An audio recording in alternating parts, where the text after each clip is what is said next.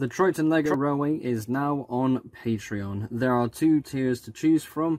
The first tier is a smaller, more general support amount, and the second is the Locomotive Builder, which is for more hardcore LEGO train fans.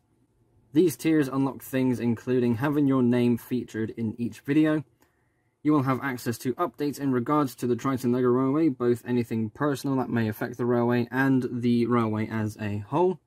You'll be able to have participation in polls for current and future projects. You will be able to decide what comes next.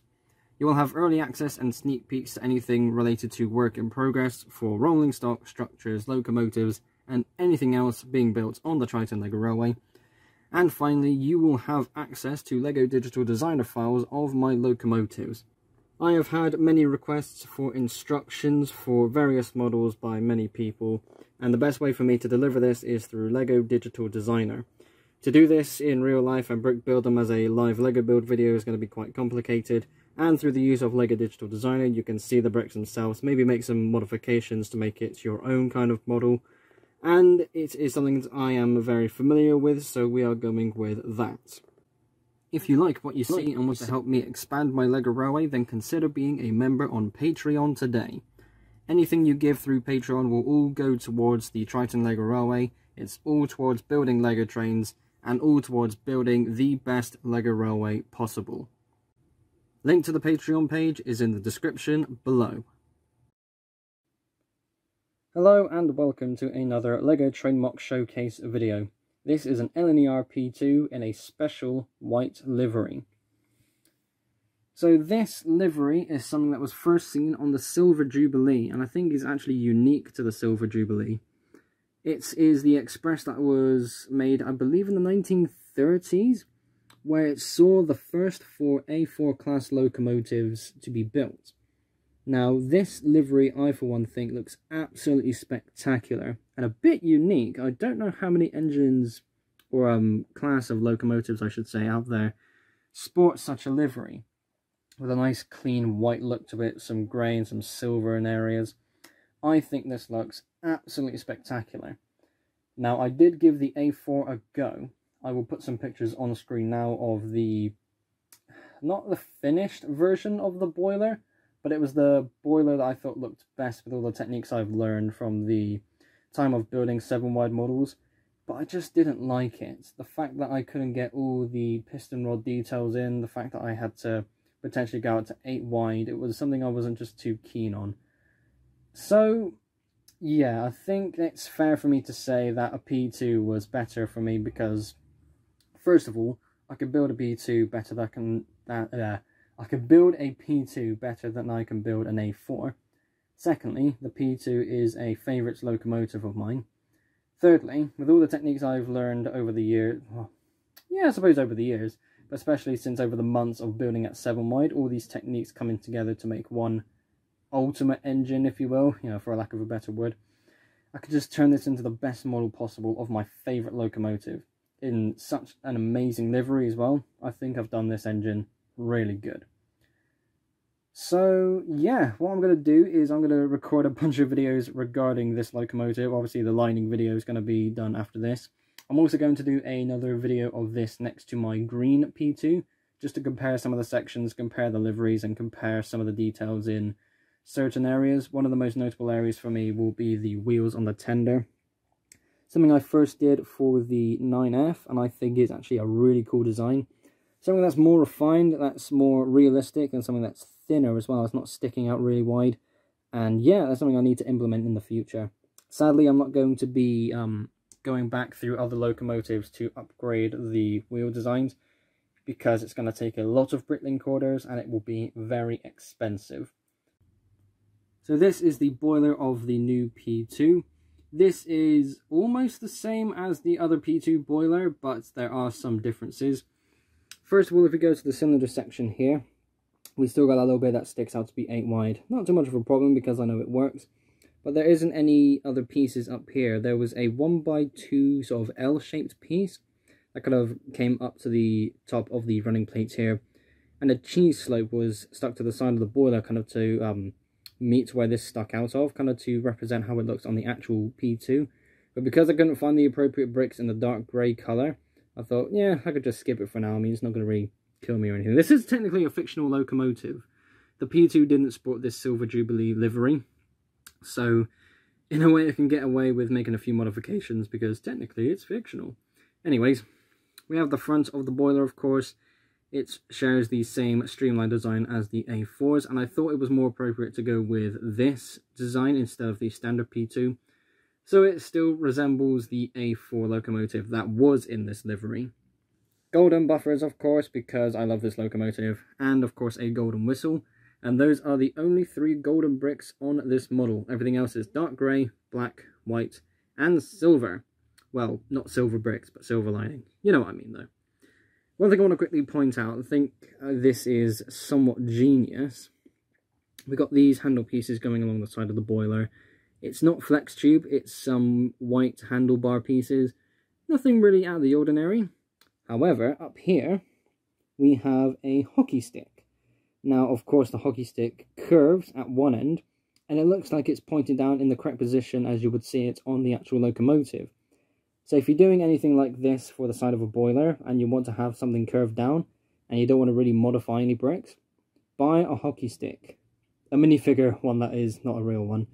Uh, banter. But you know what I mean. I think that shape looks really cool. And it was not a eureka moment, but it was like, oh my god, that could work. You know, yeah. Speaking of the cylinder design, just to go back to here, there is a slight modification in how this brick um, or this assembly is put together. So this brick in particular is what I'm trying to point out, not the kind of, well, then again, there, there are two bricks um, that are new here. So we got one of these, but it's half on that side, and there is a 1x2 sort of Technic brick that's poking out with a cross-axle beam going across it, and it's all fixed in place with this tiny light grey piece here. It's a bit difficult to explain because I don't know the exact name of those bricks, but for what it is, it's a lot cleaner looking than what I've done previously. I've bought loads of those to, um, but eh, I'm not going to say update future models because I don't know how many trains I could be building after this one. Then again, I'm not really going to go back and change other models either. But I think this is actually really nice. It's a very simple idea, but one I think I probably should have discovered a long time ago. So to go along the side of the boiler, it is very similar to the original P2. I think this looks really nice in this livery. And another thing I've done to resemble the A4s is the shape of the boiler down here. It's more boxy. It doesn't curve into like a normal boiler shape. And again, that's just to resemble the A4 design. Going to the back of the boiler now, we have a slight modification to how this whole section here works. So we've got the same idea of using bricks built sideways. We've got those weird angled bricks um, uh, between the cab and this section here. A slight tidy up with how these pieces are arranged here to represent the window. I think there's a tiny gap in there, but then again, I don't think that's something to worry about. I think that's just my brain playing tricks. Um, yeah, I think that's alright. Let's just move on. But one thing I've done slightly differently is how this section in particular is kind of connected, I suppose. So this bit here. Now, that is supposed to connect to there, like a curve shape. But to get the right bricks in there and have it all kind of mingle in, for me was a bit too difficult because I did actually give that a go. But nothing was solid enough. It was bricks balancing in certain places. And I thought, you know what? I'm not going to do that. It's just a bit too much for me to kind of get right. And with how things were going building this, I thought, I'm so close to throwing this against the wall just leave it as it is. For me, it does work. It's fine. Let's not break anything else. But all in all, I think that slightly more square look there, I think looks really nice. Instead of it being one constant slope upwards, it closes the gap as much as it can. And despite seeing that gap there, personally, that doesn't bug me. So when I built my 9F, I discovered a new technique to cover the wheels in a more realistic way. Is using this, I believe it's called a droid arm and it's connected to a few beams on the inside of this assembly here with some more clip arm pieces. I don't really um don't really know the names of these bricks, but you can see the shape of them, you can recognize them, and it's all done really well. On this size brick, this is a standard train wheel made by Lego. It's a bit difficult to kind of get right because of the, uh, the size of the wheel, but it all still works, it's all still there, and I think this is one of the best looking designs for this kind of spring. I believe it's a spring. But you know, with what you see on the outside of a wheel, I think that looks really, really cool. And this is something I was hoping to avoid. To have to take the engine off the tracks. So we do have a minifigure sporting some amazing hair, mind you. I was doing my Bricklink orders, I saw this hair and I thought, you know what, I could pull that off. And in a way I have, you know, just give me a few months and let me grow my hair out. I could probably do that again. Going to the inside of the cab, I stole this interior from Mallard. When I was building this as an A4, I pulled that out of Mallard and thought, you know what, let me just have that as a backup. And in a way, I'm not going to return this to Mallard because, first of all, I care about this engine more than Mallard. Secondly, Mallard is a lesser designed engine in the sense where, going back to what I said about the A4s being difficult to build, my Mallard model really isn't anything to be too happy about if I was ever going to go to a Lego show and bring some of my models. Mallard will be staying here. This, however, will be taking up a prime spot. So, yeah, there we go. That is my new P2 boiler. And now we're going to move on to the tenders. I'm going to try and focus on one at a time, but I'm not going to cut between the two tenders because once I go through most of the details on the first tender, it'll basically be covered on the second tender. But there are differences, so I'm not going to waste too much time with the second tender. So this is just another standard LNU, LNU or LNER design.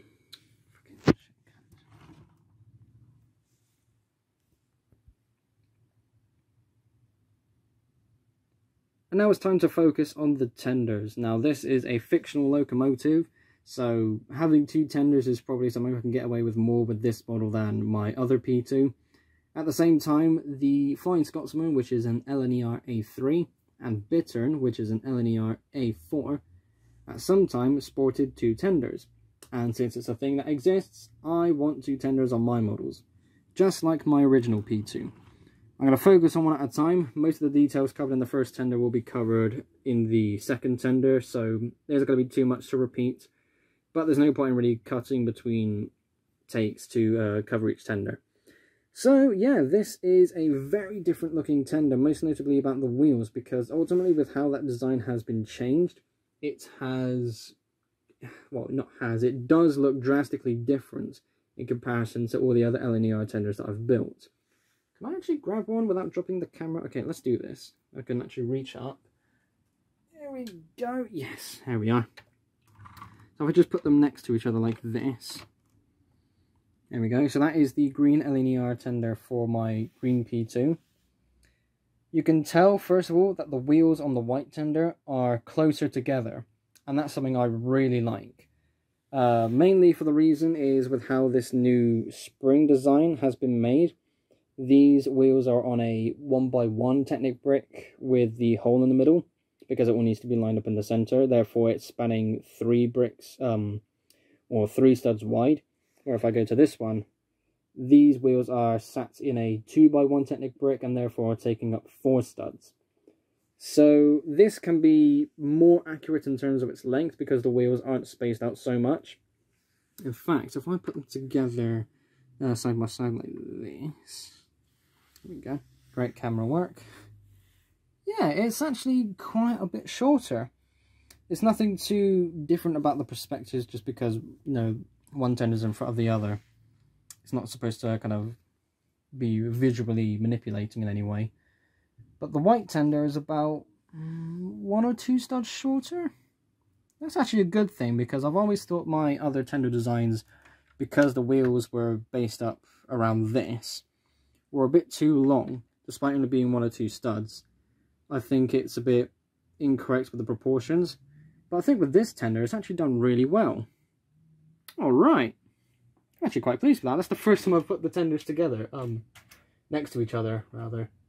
There will be a full video coming out after this one of this P2 next to my green P2, so you can see the differences in much more detail.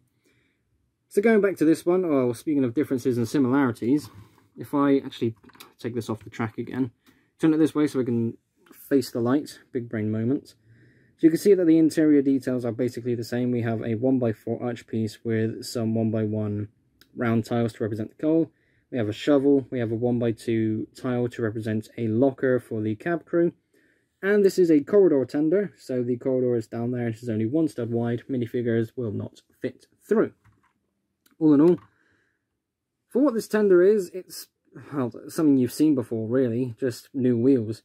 And new length, because again, we saw that it's actually two studs shorter than all my others. This looks so much nicer though.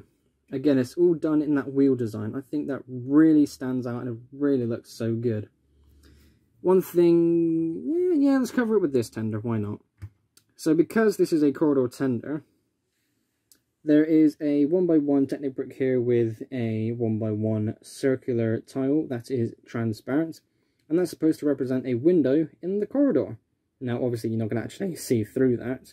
If I try and get some angle, yeah, you can kind of see, there we go.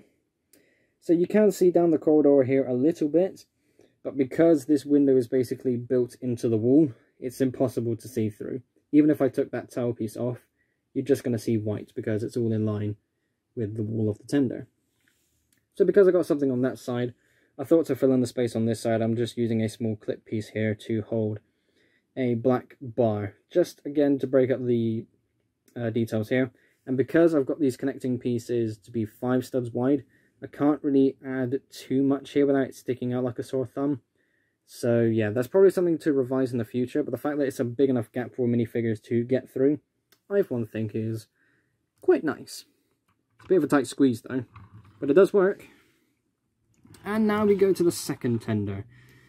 So this is basically the same as the second tender on my original P2 in terms of the details on the top. We've got the two bars and the 2x2 circle tile. This is the water tender where this is the coal tender. To anybody who doesn't know why I'm using two. For the Flying Scotsman, just to use it for example, the journeys it would make would be really long ones without stopping. So I needed to carry more coal and more water. It couldn't fit that in one tender, so it was extended to two. Big brain moment. So we have the details here continuing in terms of that bar and the window one side, so it's all lined up. And of course, going to the other end, we have another window and another bar piece. The same silver-lined rectangle on the side of the tender. Both sides, of course, the same wheel design, same base as well. This was um, a bit stupid of me to not build them both up at the same time. I was building this one first to make sure it was all okay. But instead of me going, okay, now that the base is done on this one, let's do this one so I can build it up to be, you know, as accurate as possible to each other. But no, I just smashed on with this one because I was really excited. But then again, this wasn't too difficult to build afterwards. And yeah, that is basically it for the second tender. There's nothing new for me to say because everything was covered in the first tender.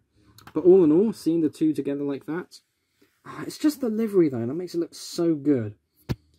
Even if it was done in apple green, which is LNER's kind of main livery, I still think it would look really nice. I think mainly for me, it's that window detail that I've added in for the corridor. I think that's one of the main things that really makes it stand out, just so I know that it's a corridor tender. And there it is, my silver P2. Uh, the more I look at this model, the more I love it. It's so gorgeous. It's such a unique livery. I think this stands out so much. I do have another white Lego train on my railway, but that one is nowhere near as detailed as this. In case anybody is wondering, it's the TLR class 242 tender engine. If you know what it is, that's top marks for you. If you don't know what it is, then don't worry, you're not missing out on anything. This is the engine to focus on. This is the engine to represent the Triton Lego Railway. Ladies and gentlemen, thank you all ever so much for watching. Remember to stick around for the upcoming videos of this in action, a better look at the lining on this model, and a comparison video of this P2 next to my green P2. So thanks for watching, be sure to like and subscribe if you haven't already. I will see you all in the next episode. Bye.